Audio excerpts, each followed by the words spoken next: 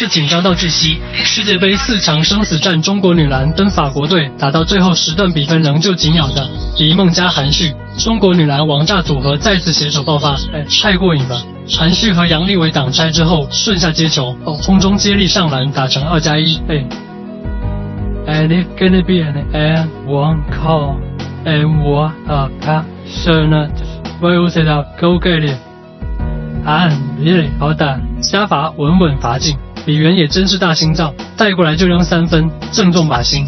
Pass any good and I shivered to the crowd and celebrate and I said，李媛和黄思静挡拆之后，突分右侧四十五度李梦，无视防守人直接把裁判响哨，打手犯规。And she is foul as minatory，三次罚球罚进了两个。啊，六十六比五十八，中国女篮带着八分的领先优势进入决战第四节。杨丽维从右路突破，倒抛传球找到篮下的韩旭，高举刀打继续取分。Shoot they for the matches, they got the beautiful match but just after she kicked the high, lovely finish. So you know in that kind of situation, for those is 李媛全力提速推进到前场，韩旭接球投篮稳稳命中，而是小花 Q。And you need to stop the ball and get back out position。李媛和韩旭挡拆之后，突飞右侧四十五度李梦，一支三分穿云箭，千军万马来相见。呃，Why don't I be me? I told you.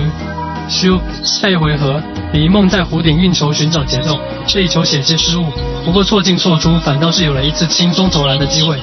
好的，and then 李梦连续飙分，直接把法国队打停了。趁着暂停的间隙，给兄弟们推荐一下。